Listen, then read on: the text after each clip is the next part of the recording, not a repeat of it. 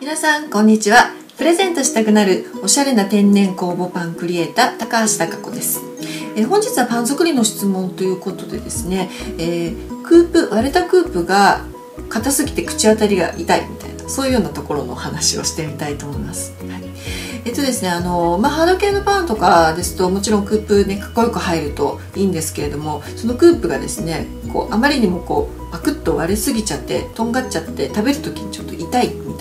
形になるような場合にはもう少しその外皮のところですねあのクラストっていうんですけどそこの部分を柔らかく作ってあげる必要があります。ですのであの生地そのものの力が強い場合とかだとそういう話になったりとかしますので、まあ、生地の力を落とすっていうことで、まあ、準強力粉にするとかあとは生地そのものが硬かったりするようなケースとかもありますよね。ですので少し水分量を増やして柔らかくしてみるとかあとは生地の伸縮縮性ですねパーッと伸びるような感じのところを増やしてあげるっていうその3点ぐらいをちょっと注意して作っていただいてみると多少は解消されるのではなかろうかと思いますのでそんなところもはい是非トライしてみてください。